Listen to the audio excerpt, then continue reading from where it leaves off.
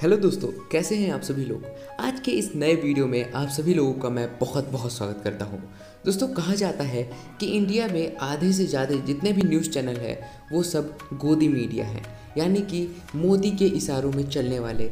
इनसे हटकर भी एक न्यूज़ चैनल है, जिसका नाम है एनडीटीवी, जिसके फाउंडर प्रणय रॉय और राधिका रॉय हैं, जिनकी एनडीटीवी में स्टेक 32 परसेंटेज की है। अब मैं आपको ये सब क्यों बता रहा हूँ, आइए मैं आपको समझाता हूँ। मान लीजिए मैं कोई एक पॉइंट ए हूँ और मैं पॉइंट बी से लोन लेता हूँ। अब जो कोई पॉइंट बी है, वो पॉइंट सी से लोन लेता है मुझे लोन देने के लिए। या फिर कह सकते हैं कि पैसे लेता है पॉइंट ए को लोन देने के लिए।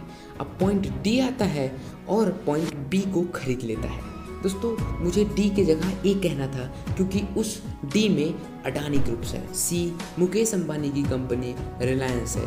बी वी है और A R R P R है, यानी कि राधिका रॉय, प्रणय रॉय। दोस्तों आर आर पी आर ने एन डी टी वी की 29 परसेंट स्टेक ली थी और आर आर पी आर ने बी पी सी एल से लोन लिया था 2009-10 में 403 करोड़ का। और दोस्तों, इसी लोन में ये भी इन्वॉल्व था कि जो भी लोन लिया गया है, उसमें इंटरेस्ट अलग से नहीं लगेगा। बजाय इसके कि आप जब भी चाहो लोन को स्टेक में कन्वर्ट कर सकते हो। यानी कि अब बी अडानी ग्रुप को ट्रांसफ़र हो गया है ओन हो गया है, इसीलिए 29 परसेंटेज आप अडानी ग्रुप ने कन्वर्ट कर लिया है। दोस्तों अडानी ग्रुप ने ये भी कहा है कि हम ओपन मार्केट में ये ऐलान करते हैं कि 26 परसेंट और कोई भी अगर हमें बेचना चाहे तो बेच सकता है। दोस्तों, इसी कारण बस मैं कह रहा था कि ना फाउंडर को पता है, ना डायरेक्टर को पता है, ना किसी जर्नलिस्ट को पता है, ना ही मैनेजमेंट को पता और एनडीटीवी बिग भी गया।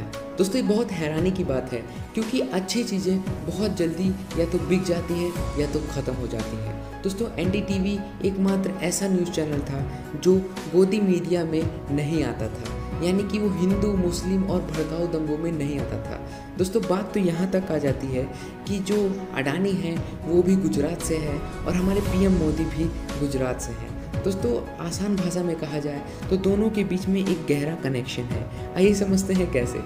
दोस्तों, आज से नहीं, बहुत पहले से ही एक प्रथा चली आ रही है कि आप मुझे इलेक्शन के लिए पैसे दीजिए, उसके बदले में हम आपकी लोन माफ़ करा देंगे, आपके ऊपर जितने चार्जेस रहेंगे वो हटवा देंगे। आपका जो भी काम रहेगा, वो हम निपटा लेंगे, आप चिंता मत करिएगा।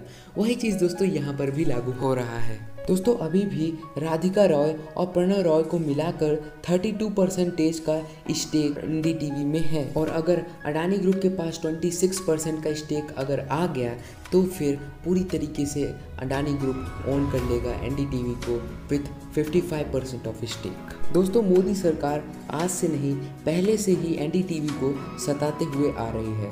दोस्तों 9 नवंबर 2016 को NDTV पूरे एक दिन के लिए क्लोज हुआ था बाय द मिनिस्ट्री ऑर्डर और रॉय फैमिली के ऊपर इनकम टैक्स की नज़र हमेशा से ही रहती आई है। और मोदी सरकार के बाद ही ऐसा क्यों हो रहा है? दोस्तों, ऐसे बहुत सारे कारण हैं जो मैं आपको बता सकता हूँ। लेकिन अभी के लिए बस इतना ही। आप कमेंट में ज़रूर लिखेगा क्या होगा एन का भविष्य। दोस्तों, मिलेंगे एक नेक्स्ट वीडियो में। तब तक के लिए बाय बाय